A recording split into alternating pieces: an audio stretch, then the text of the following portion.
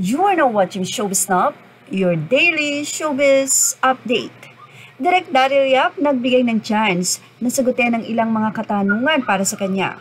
Answered, pwede akong tawagin ng kahit sino ang kahit kanino kasi hindi nila ako kilala.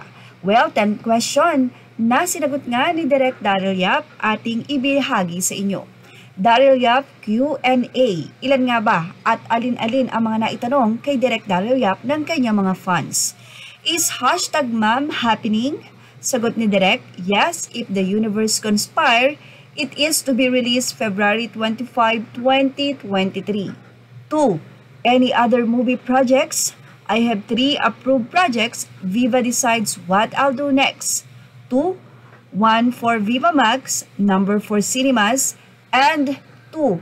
The titles, Biglang Witch Bisaya, Ang Huling Japayuki, Soulmate, after doing one of these, saka lang ako makakapag hashtag mom. Number 3. Are you exclusively for Viva or for Senator Amy? Sagot ni Direk Daryl, exclusive by contract. Exclusive, exclusive by heart. Say naman ni Direk Daryl for Dream Project. Anong sagot niya? Every project is a realization of a dream. Dreams I never dream about. Sabi naman niya sa 5, your reaction to Katip's having international screenings. Say ni Direk, there is a difference between international screening and Blackpink screening. Narito naman ang naging say niya sa tanong na after hashtag Joable and hashtag meme, do you consider yourself as a box office director? Sagot ni Direk, no, I think I am an effective translator I translated SOCMED uh, views to Jowable tickets, then translated votes to meme gross. 7. Reactions to season directors calling you a one-hit wonder. Sagot niya, they first said that when I did Jowable, they said Chamba. Then every Viva Max released during pandemic was a hit.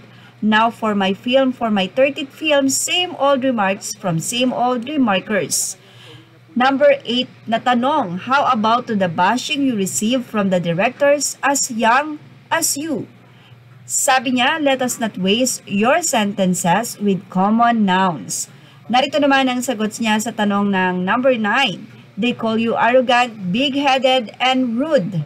Well, sagot ni Direk Daryl, pwede akong tawagin ng kahit sino ng kahit ano kahit hindi nila ako kilala.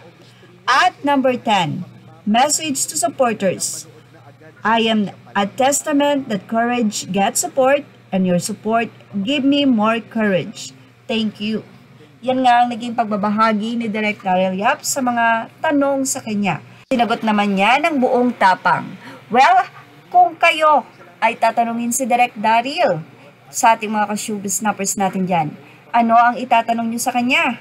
Yes, comment your question below.